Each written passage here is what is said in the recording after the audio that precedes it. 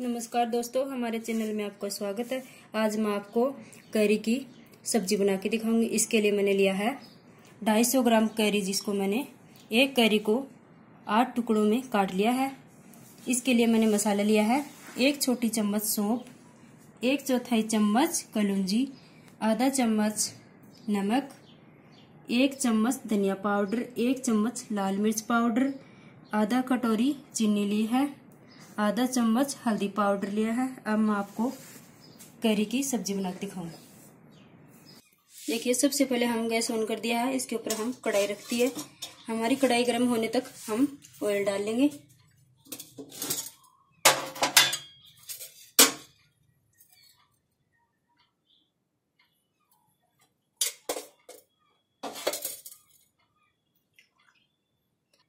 एक बड़ा चम्मच ऑयल डाल देंगे।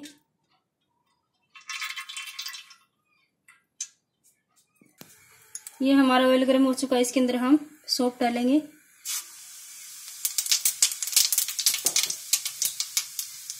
इसके बाद कलौंजी डाल देंगे।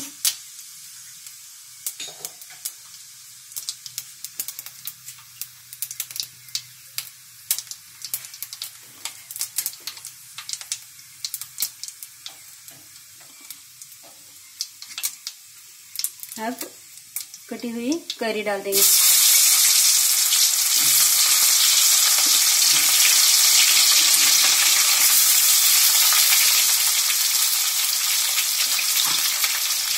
अब इसको अच्छे से मिला लेंगे।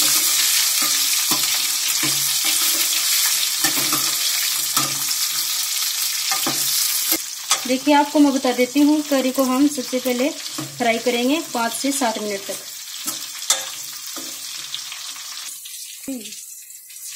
देखिए, आप देख सकते हैं हमारी करी फ्राई हो चुकी है। अब इसके अंदर हम मसाला डाल देंगे।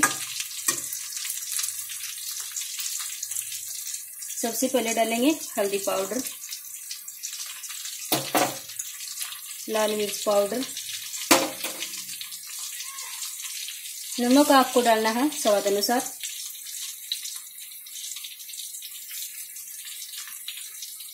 धनिया पाउडर।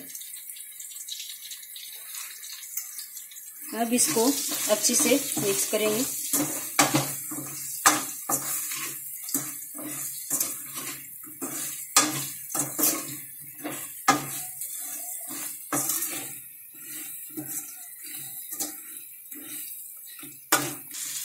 देखिए, लगभग हम एक मिनट तक हमारा मसाला पका लिया है। अब इसके अंदर हम आधा गिलास पानी डाल देंगे।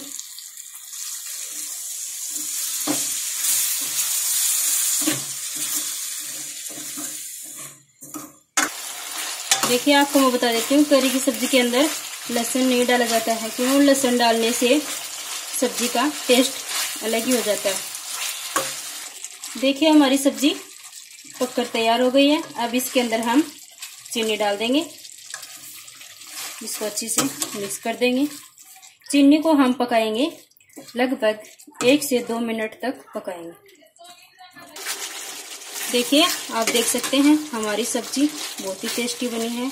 हमारी सब्ज़ी पसंद आई तो हमारे चैनल को ज़रूर सब्सक्राइब करें, लाइक करें शेयर करें। धन्यवाद।